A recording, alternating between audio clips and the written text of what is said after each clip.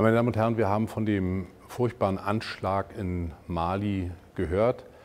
Natürlich sind unsere Gedanken zuallererst bei den Soldaten, bei ihren Angehörigen und bei den Helferinnen und Helfern.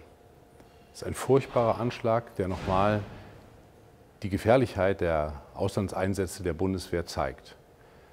Wir sind der Auffassung, dass die nächsten Abgeordneten des Deutschen Bundestages sehr grundsätzlich und sehr prinzipiell über die Einsätze der deutschen Soldaten nachdenken und neu entscheiden sollten.